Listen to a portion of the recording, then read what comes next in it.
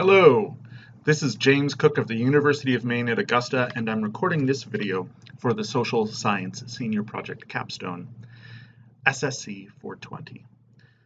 If you're in my class, you know that uh, we had technical difficulties due to uh, central failure within the University of Maine video conferencing system. However, that issue has been resolved for future weeks and uh, we should not encounter that problem again.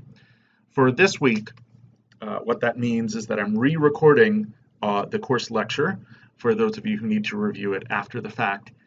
And in addition, because that's taking an extra day out of your work time subsequent to the course lecture, uh, I'm adding one day of extension uh, for that lost day and an additional day for the trouble that you might have in uh, shifting your schedule in order to uh, have extra time to complete the assignment. Let's talk today about uh, a few issues to get the course started well. We're going to start off with a course orientation. Then I'm going to describe uh, the process of asking a research question uh, and thinking about what the motivations are for uh, finding a research question that works for you that leads into a research method working for you. That has to do with our uh, big course project, which is a uh, research uh, project completed that involves empirical social science research work. Then we'll be talking about choosing a feasible research design, not just a solid research design that could hypothetically work, but one that will work within the time frame of this semester. Then I want to give you uh, a peek at some of the research that I'm currently doing that uh, I have started from the uh, point of a simple topic, moving on to a research question, moving on to a protocol for collecting data. And uh, I want to show you how that is progressing and what my thought process has been and how that thought process uh, is converted into a research process that is visible through uh, an online database. And then we'll talk about the first round of work that is due now on January 29th uh, that will get you started on the path to a successfully completed semester, a successfully completed degree, uh, and consolidated research skill for however you're going to move forward. So in this course orientation, uh, which is the first part of this lecture, I want to talk about how our classes are going to work. Uh, and then I'd, I'd, like to talk about the work that you're going to do. This is an unusual class in that we have a video conference uh, for a seminar, but we also have individuals uh, because of university policy who are uh, asynchronously connecting this means that uh, I can't really require that you attend the weekly course meetings by university policy and through principles of equity. I don't want to require those meetings for some students, but not for others. So they're optional, these Thursday 1 to 345 meetings. However, they are really highly recommended because it is the chance for you and I to connect in real time, to interact in real time, to have a back and forth of questions, answers, uh, questions going back to you, your response, and then feedback as we adjust until we are at a point of joint understanding. We can do some of that over email, and I'd be glad to do some of that over the phone, but there's nothing like in real time, face to face, seeing some kind of connection. Um, as you know, through the course syllabus. It's um, possible for you to connect in two ways. One is through attending one of the uh, three video conference uh, rooms that are reserved for us. And the second is on the second page under course meetings through a Zoom link. You can use Zoom through an iPad, a smartphone, a tablet, uh, a PC computer, uh, any number of possibilities. It's uh, free software to you, so it doesn't cost anything. and that will be a second mode through which we are open for connection. Um, you're also welcome to consult with me during office hours. I'm at the University of Maine at Augusta Rockland Center uh, on Thursdays from 8 to 9 and noon to 1. And also, um, I have office hours on Mondays from noon to 4. It'll be at a different campus each week, so I can uh, better get in touch with folks from different parts of the state. Um, I'll announce what those are in advance. But I'll also, at those times, always be available by phone, uh, and we can do uh, a video meeting, just one-on-one -on -one as well, no matter where you are, uh, in Maine or in the world.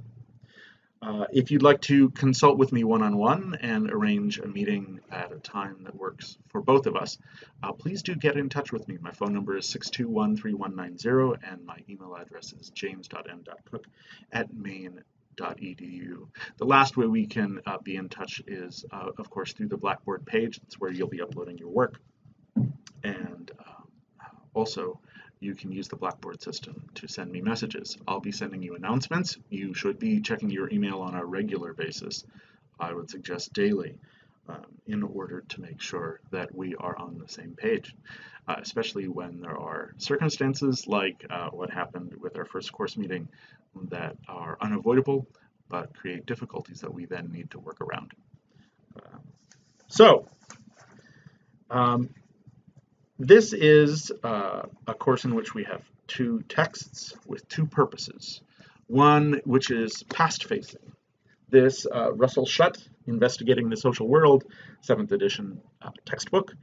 It is uh, one that I chose because I know it is for the most recent incarnation of SSC 320, the prerequisite for this class. It is the textbook that was used in the last uh, session of that. So most of you, if you're coming directly from SSC 320, will have already read through and worked through this book, and this book is here for reference. We are going to review and reprise some of that, um, some of the skills and some of the knowledge that you obtained there, um, but uh, we're going to do so quickly at a fast pace. If you have, took uh, SSC 320 in years past, you should know that this is very similar to, say, the uh, Earl Babbie uh, textbook that was used before then. So it should all be review.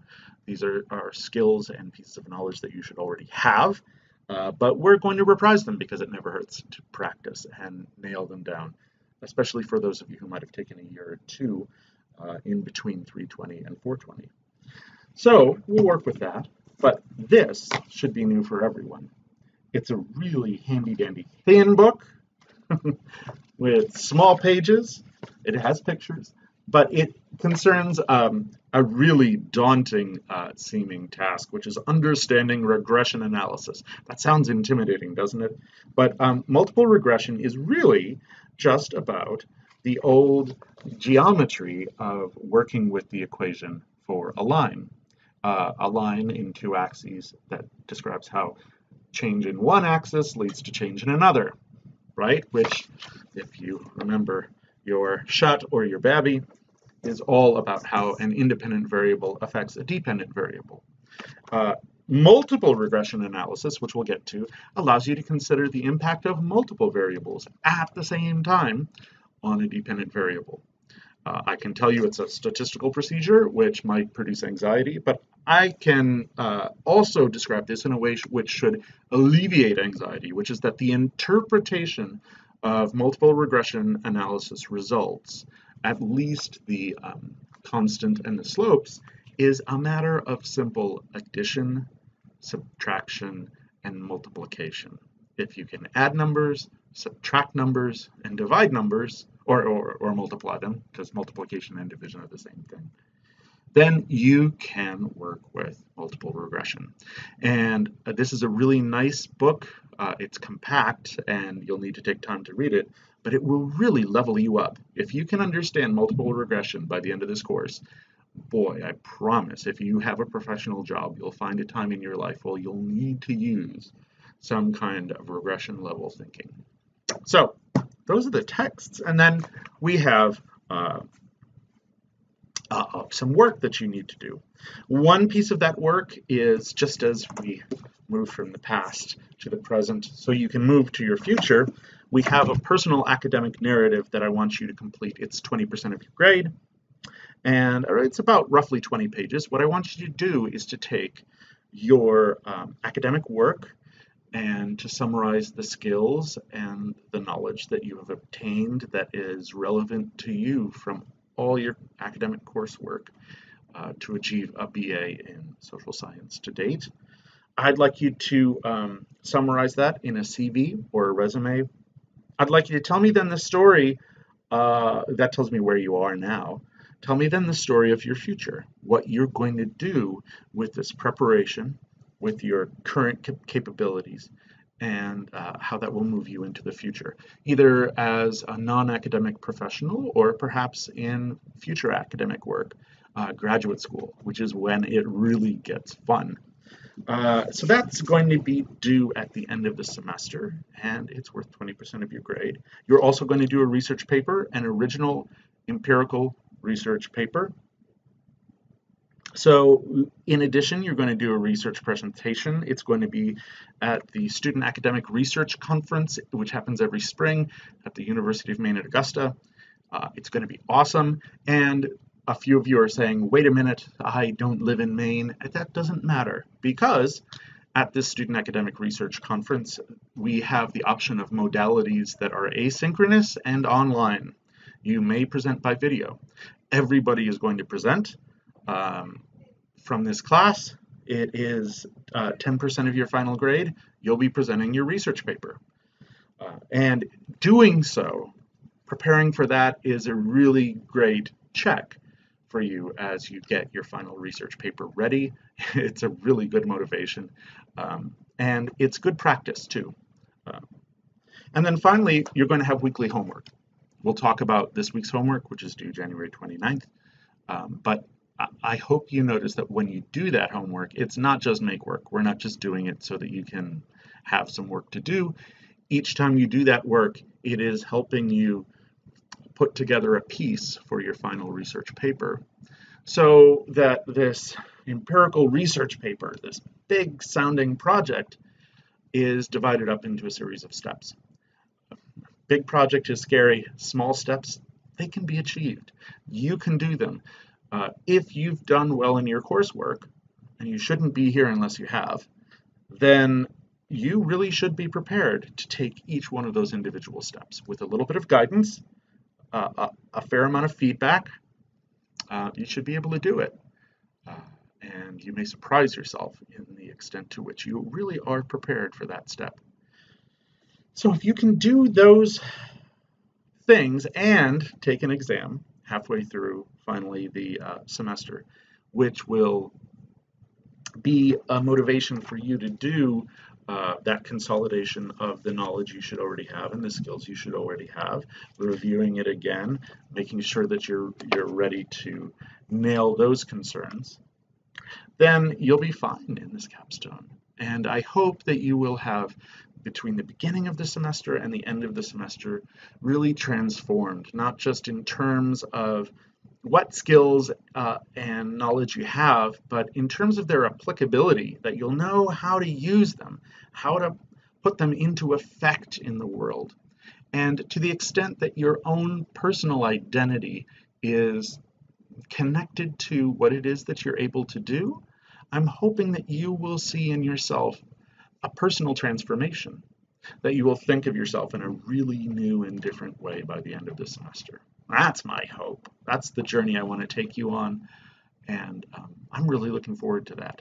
Uh, it can be a very special course uh, that, that students go through right at the end of their academic career. It's a good time uh, now that you've elevated yourself to have this summit experience where you turn around and you look down that mountain and you see how far you've come and you see the peak just a little bit above you. So let's move on now to the idea which is in this week's reading that you should have completed, um, but also one that you've considered before, which is asking a research question. It's connected to your research paper and it's connected to your homework for this week uh, in which I'm asking you to take a topic and turn that into a social science research question. Now, in asking a question, you know, you may be asking yourself, well, what kind of project am I going to do? I have no ideas. I'm, I'm out of ideas. The motivations for asking a research question can be multiple. One of them is your own life. If you remember your Sociology 101 class, uh, you should have had some reference to C. Wright Mills, and certainly also in the Social Problems course 201. In those courses, we review C. Wright Mills and his idea that we go through life um, with the experience of having personal troubles, and that's because we live in our own heads. So, of course, we're going to think of them personally. Maybe they're money troubles, maybe they're interpersonal troubles, maybe they're struggles to get enough resources, all kinds of personal troubles people can have. But the sociological imagination, as C. Wright Mills calls it, and that's the title of his book in 1959. Uh, the, the sociological imagination consists of taking that personal trouble and then elevating your view up higher so that you can notice that your personal trouble, this thing that you think is due to you, a problem in just your life, is actually perhaps part of a pattern. And that is a classic undergraduate journey that I hope you have taken uh, from the 100, 200, 300, and now 400 level to gain the skills through research to uh, elevate your view, be able to look beyond your own skin, your own skull, and to be able to have a broader view, a systematic view, a careful view that allows you to evaluate the extent to which these personal troubles might be social issues. So if you go back through your own life and you think about struggles that you have had as a person, think about how they can be viewed using your sociological imagination from a social uh, standpoint. And that may be your research question.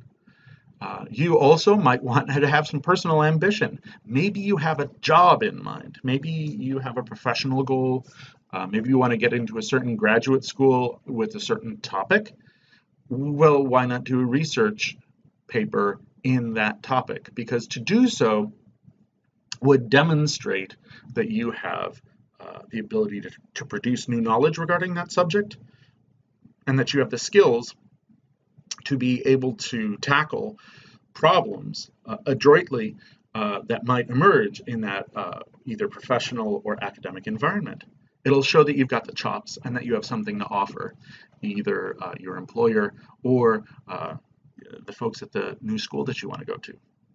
So you can satisfy your personal ambition that way. A student uh, in the 420 course last year wanted to move on into mortuary science and work at a funeral home and get a really good job there. And she used um, the SSC 420 class to do a research project which demonstrated the scope of the problems uh, and capacities of the funeral industry in the state of Maine. Uh, and with that work, she gained new insights that she was able to use to really tailor her job application. So that's personal ambition. There's also social impact. You may want to make the world a better place, and you may have some ideas about how the world is not quite what it could be. Pay attention to that. Think about those topics and use that possibly as a motivation to uh, ask a research question, to understand things better, because if you understand how the social world works better, you can uh, solve the problems because you, you, you can't fix things if you don't know what's broken and you don't know how they're broken. A fourth motivation for you in terms of asking a research question is uh, in terms of the extension of prior research. This is an incremental approach but um, if you have taken classes in which you have read through the research literature on a subject, perhaps the sociology of gender or the sociology of uh, stratification or uh, the psychology of climate change, there are many uh, uh psychology of men and boys, of evil and humor, many, many classes in which you might have reviewed the academic literature on a subject. Think back to those courses. Think back to a time when you've done a literature review. Oh, in SSC 320 you should have, and in SSC 220, if you took it, uh, you should have. You think about the moment at which you reviewed the literature and you said, is that all? Is that it? I can't believe there isn't a piece of research on this subject or that subject, or why haven't they extended the uh, uh, research to this domain or that domain or this place or that place? Or why is it that the last piece of research to ask this question is 40 years old? Isn't it time for an update? well, okay, if it's time for an update, maybe you're the one to do it. If that all these research questions, um, uh, research papers have not tackled this particular subtopic, maybe you're the one to do it. Um, you could be ready. finally, um, curiosity. So there's something that's always just tickled your mind. Maybe it doesn't impact you. Maybe it doesn't make the world a better place. Maybe you don't know anything about it right now. Maybe it won't help you get a job, but it's always something that's just made you go, hmm, made you wonder, made you think. Um, there's nothing like that kind of experience of curiosity to push forward a research paper. For all of these motivations, there is one common denominator, and that is that it should be something that somehow connects to your interest. Because if you are not interested in a research topic and yet you're having to do it, boy, that will be, mm, it might be boring, it might be dull, it might just make you feel kind of rotten and gray. On the other hand, if you have some reason you're doing something, or some interest, uh, something that connects to your experience or the experience of people you care about, or a logical problem that's always just made you curious, well, what better motivator is there to do the hard work in the middle of a research project to pull it all together? Think about these motivations if you are asking yourself, what kind of research question might I possibly have? What topic might I have before that?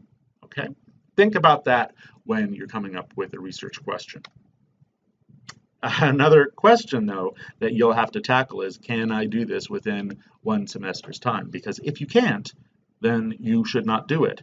There are limitations. You have to finish this by the first week of May, or second week of May, I believe. Um, and that's not too long in the future. Now, you have more skills and more knowledge about this than you think you do. So you definitely can do a research uh, uh, project, but you can't just do any research project. Are you going to have access to the information that you will need to complete your original research project?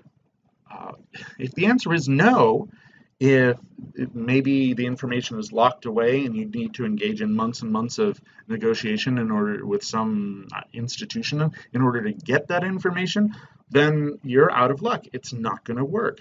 If uh, you want to do a nationally representative survey of the United States population, do you have access to a sampling frame, which is a set of all the phone numbers in the United States uh, from which you can do a random sample, uh, for instance. If you don't, then you can't do it.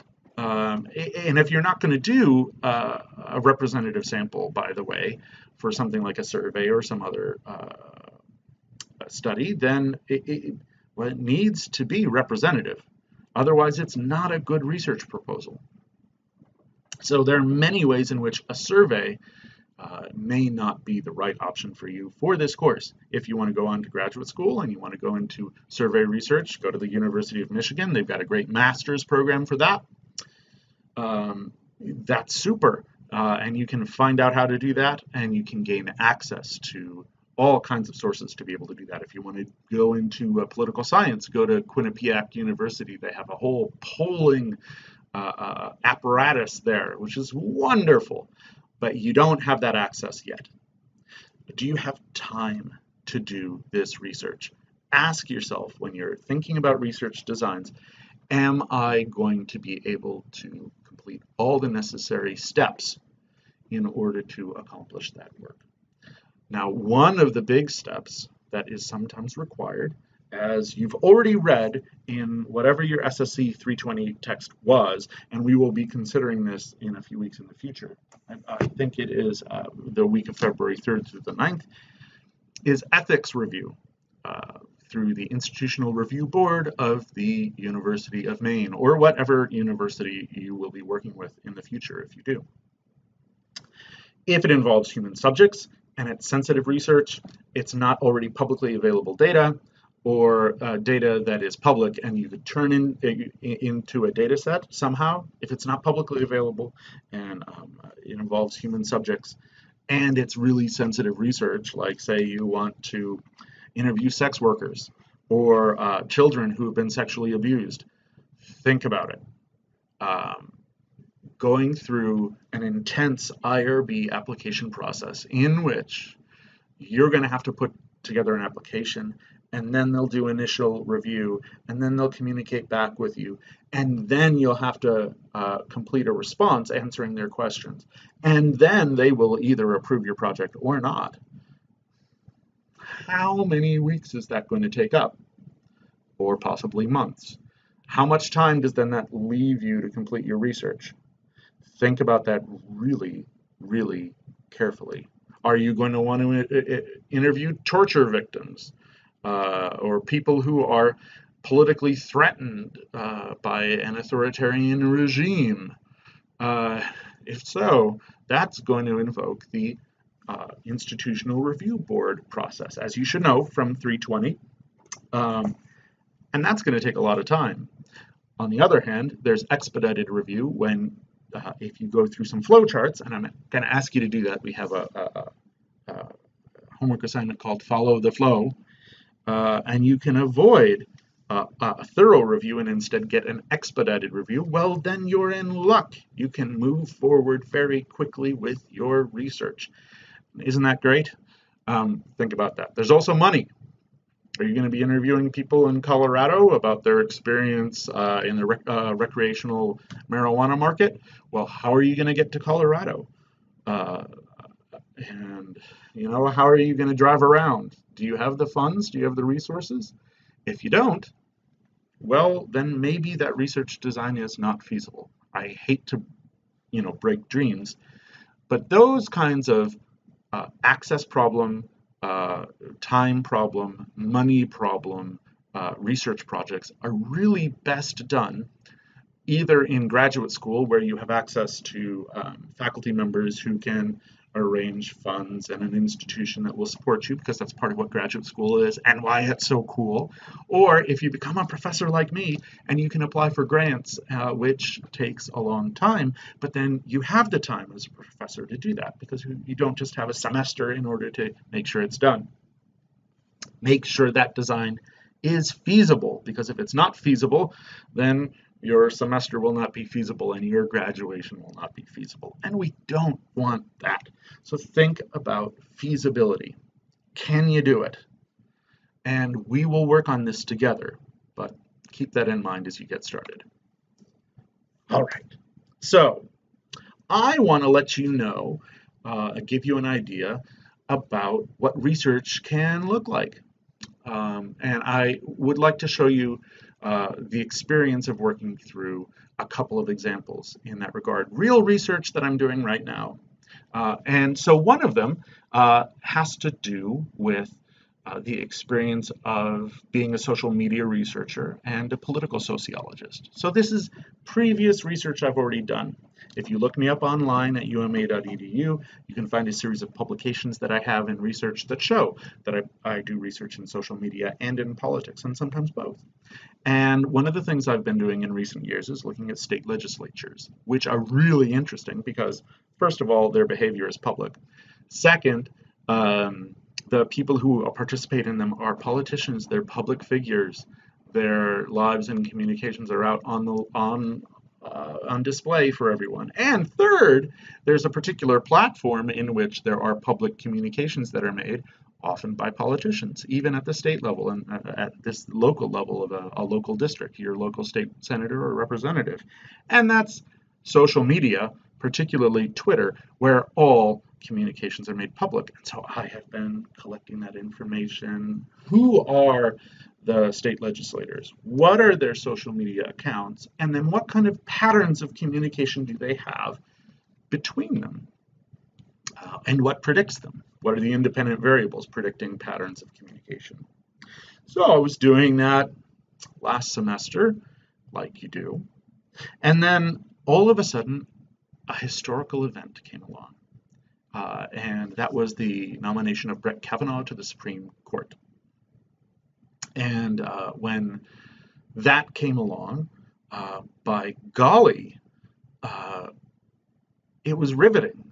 I imagine you probably remember the nomination of Brett Kavanaugh to the Supreme Court. You probably uh, know some people who were involved in conversation about it, particularly when allegations of sexual assault were brought to bear, the nation's eyes to turn to it.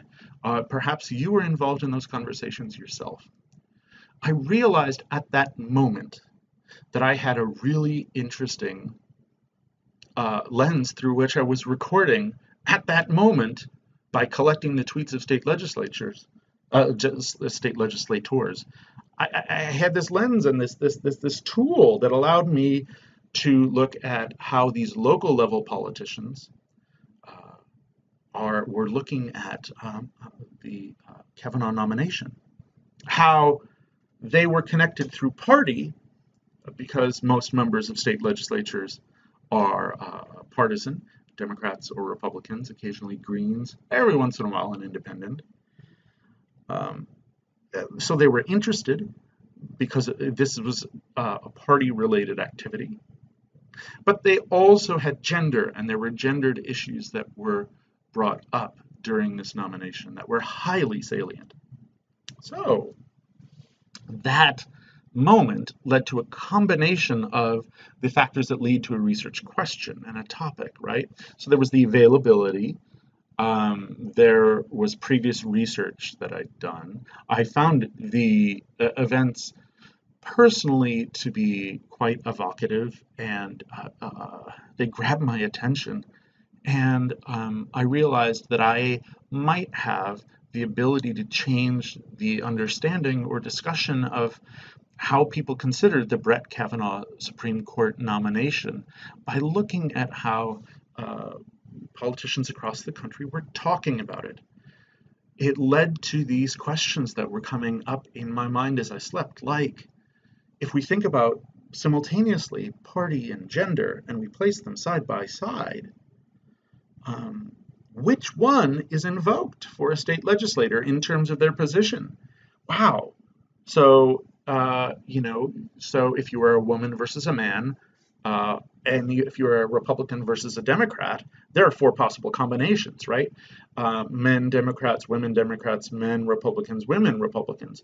What's the pattern of support look like for those four categories? And what does that say about the importance of political party in determining position versus a person's gender. Maybe actually there's no pattern in which we go, wow, gender and party didn't matter at all. Well, that would be interesting too. Something called a null hypothesis. But there's something to look at there.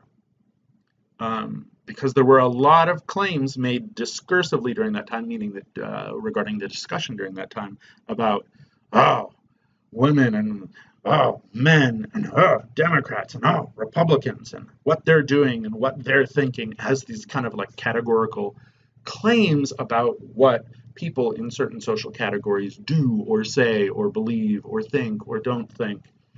So I realized I could test that. What a privilege to be able to do that. Um, I also realized I could look over time and I could answer even a more fundamental question, which is what is politics for? Uh, okay, so how do I operationalize that? Operationalization, it's in here. Remember that word? It's how you make something this idea of what is politics for. How do you how do you convert that to uh, a way of thinking about things that can be very clearly measured, uh, systematically put into operation? That's what operationalization is. Well, I realized I had not just these Twitter posts that state legislators were making, possibly about Brett Kavanaugh, but that the same people could make different posts over time. And I could ask the question um, Does anyone change their mind? If someone does change their mind, then what does that say about, with their category, right, of party or gender uh, not changing? What does that say about the importance of those categories? Uh, versus people being able to change their mind based on what happens. Well, that would indicate that politics is this arena in which people come in with open minds and they're able to take new information in and change their minds. On the other hand, there's this vision of politics that says, nah, it's not about changing people's minds, it's about people coming in knowing what they believe and being firm in what they believe and sticking with what they believe and trying to get their way. Uh, these people trying to get their way, those people trying to get their way, those people over here trying to get their way, and everybody jockeying for advantage. That's a very different model of politics than one that says politics is a discussion, a civic discussion. I can see if anybody changes their minds. If so, when? How? In what direction? Does it only happen in one direction? Does it happen in another direction? It, my point is, is that sometimes when you're in the middle of uh, working on a subject. Maybe you've been studying a subject for uh, a couple of semesters now as a relatively advanced uh, uh, bachelor's degree student, and you have some skills and knowledge regarding that particular subject. Uh, you can use that in your research. Maybe you already know where some information is. Maybe because of your skills and knowledge, you have access to information that few other people do that's really cool. And that experience happened to me this year. I want to share uh, the opening round of what the research process looks like. That is, coming up with an idea and a project uh, regarding another project, which is community gardens. You may know that I teach SSC uh, 334. It's called Cultivating Community, the Garden Seminar, the 300 level social science course. And it is nominally speaking about uh, putting together a community garden. Uh, we have a 9,000 square foot community garden on the Augusta campus. It grows vegetables, um, and those vegetables are fresh and organic and healthy, and they go to the Augusta Food Bank. Many hundreds of pounds of them every year. So it's a it's a, a civic project that uh, does good things for people who need a little bit of help. But on top of that, it's also a community organizing project because getting a 9,000 square foot community garden uh, going every year and having it work every year is not the work of one person or two people or three people. It's the work of many people working together, and that can be hard work. So, how do you get a community to come together and do this big project and make it work? Well, that is the subject of community organizing, right? And to do so on a college campus allows you to teach principles of social organizing and recruitment and commitment, uh, motivation, leadership, development, all these academic questions that also are professionally uh, useful uh, for many fields of work.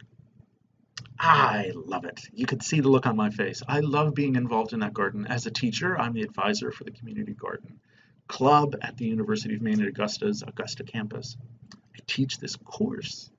So it's really cool. You could see me walking around campus lots of times, especially in the summer, and I'll be there with enthusiasm. And occasionally I run into a few people at the university who say, What's the point? Why is there a community garden on the university campus? You know, what does that have to do with learning? And my response has always been, isn't it obvious?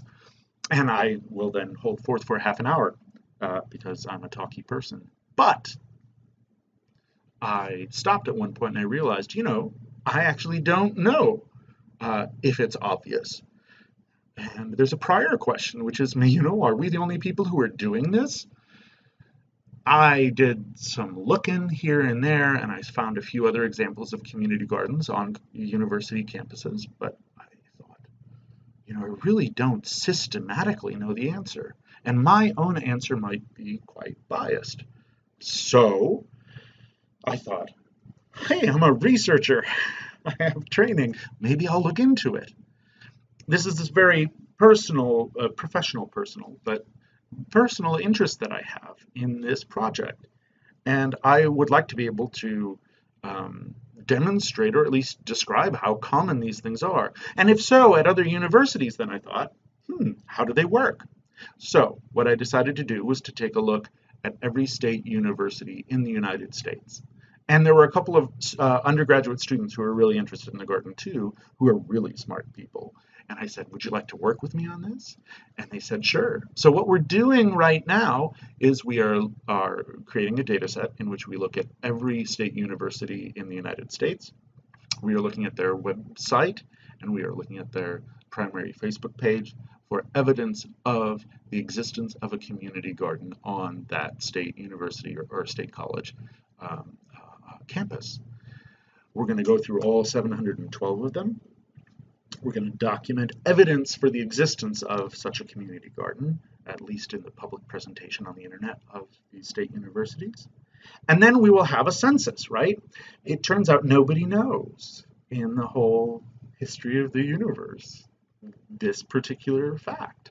And we're going to create this information. It, it, at the same time, we're going to create this product, which is for everybody else who is involved in uh, community gardens at state universities and colleges like me, uh, the ability to find out who else is doing this because the next thing we're going to do is we're going to try to find some contact information, get a contact person, and then we'll try to contact them and say, hey, how are you doing this? How is it working out? Is it succeeded? Did the oh, did the garden shut down? Or is it continuing to go? How do you do it? Do you do you have a budget? Do you have someone hired to do that work?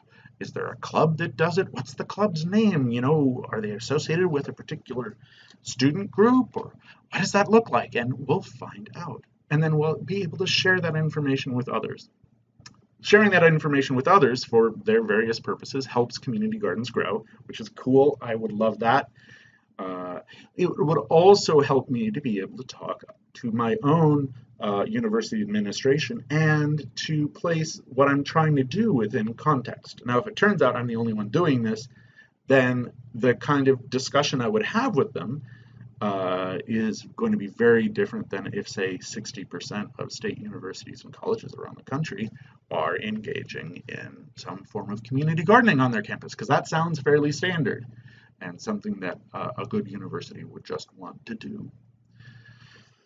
This is how my own uh, interests um, and my own experience as a professional sometimes as a researcher, sometimes as someone who is a teacher, sometimes just as a human being, have motivated my own research.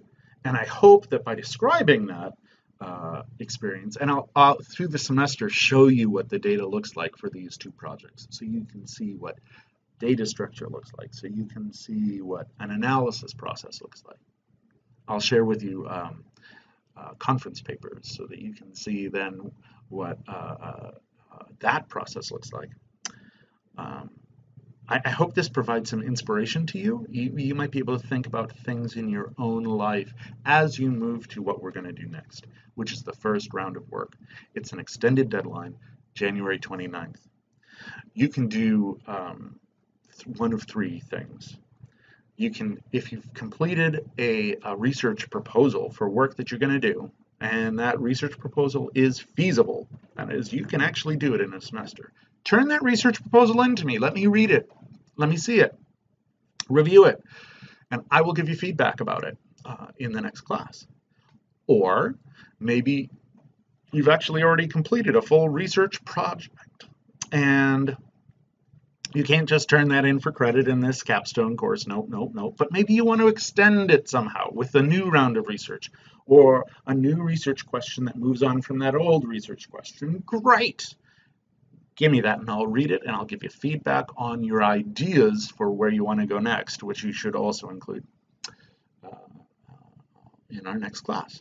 Or maybe you don't really have a good research proposal uh, or one that you don't think is feasible, or you, you don't have a research project that you've completed, or the one that you did, it's really done, or you really couldn't move it forward. Fine, come up with a new idea. Uh, what I would like to see in that regard then is a minimum of a description of a topic of interest and a description of a research problem leading to a research question. Okay, some question that you can answer through research. And, you know, there's discussion of research questions. Research problems and approaches in your Schutt book, chapters one and two, and you should already have talked about that in your research methods classes. If you want to really impress me, start to talk about the method that you think you might use in order to get that research project done. The more you give me, the more feedback I can give you in our next class meeting. As you're doing this, you may be thinking to yourself, boy, this is a lot of work. Yeah, it is. Um, this is a job. This is the equivalent of a, a bit more than a quarter-time job. Uh, if you look at um, uh, NEASC, which is our regional accreditor for a university, they state that if you have a four credit hour class, that means 12 solid hours of work every week. So uh, this is work that you're going to be putting in 12 hours a week uh, for. Some weeks a little bit more, some weeks a little bit less, but that's what it should average out to. And if you put in 12 hours a week of really solid, serious work, uh, then you will be able to complete this project uh, using the skills and knowledge that you've already gained, consolidating them with a little bit of review, consulting with me in office hours, in class if you are able to come to those video session meetings in the submissions that you give, in the feedback that you get back from me. You can do this. You totally can do this. You would not be here if you didn't have the chops. We will sharpen up those chops a little bit. We will hone them. We will apply them to a research question that you care about, that you have a motivation uh, to answer uh, in, in, to answer your research question and we'll get you to the end of the semester. And if it all works out and you put in the work and I put in the work, you will be really amazed at what you can do. Uh, and I will be so proud of the work that you've done. So that is uh, a consolidated, uh, re-recorded version of the uh, first week's lecture that I offered to the class and then we did not have anyone come to the uh, video conference or Zoom meeting. Uh, so we were not able to have discussion, which was the second half of class. Um, and, and, that's a bit unfortunate, but we can have those discussions in one of two ways, email um, uh, or you uh, come into class next week if you're able. Uh, if you're not able, uh, there are other ways to communicate with me, and I certainly hope you do. I hope you have, at this point in the semester, after hearing this, a few ideas bubbling up, buzzing inside you.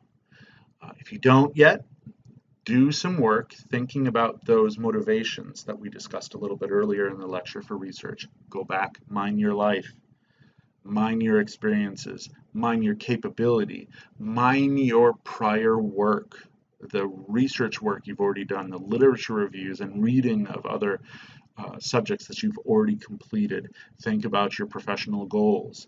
Uh, all of those, somewhere there should be something that you can get a purchase on and you can start to develop.